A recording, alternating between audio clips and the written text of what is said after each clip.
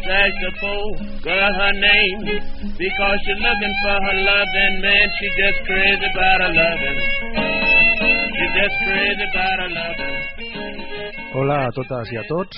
Avui anem a aprendre què és el teorema de Pitàgores. Primer de tot recordem què és un triangle rectangle.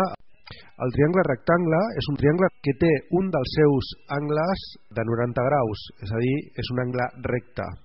Aquest angle recte del triangle rectangle està format per dos dels seus costats que anomenem catets. Els catets són els dos costats del triangle que formen l'angle recte. Al costat oposat a l'angle recte li diem hipotenusa. Doncs bé, el teorema de Pitàgores és una fórmula que relaciona els tres costats d'un triangle rectangle i diu concretament que la hipotenusa al quadrat és igual a un catet al quadrat més un altre catet al quadrat. Posem un exemple.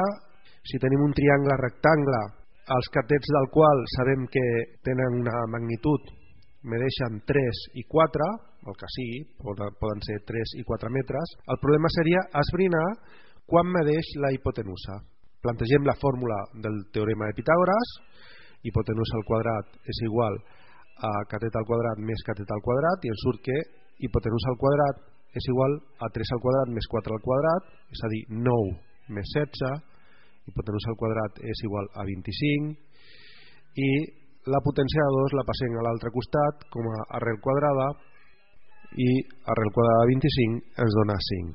És a dir que 5 seria el valor de la hipotenusa. Si estem parlant de metres, doncs serien 5 metres el valor de la hipotenusa.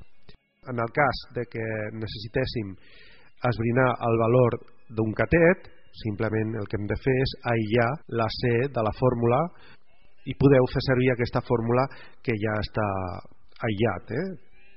Doncs això és tot. Espero que us hagi servit i ens veiem a la propera. Adéu, petons i.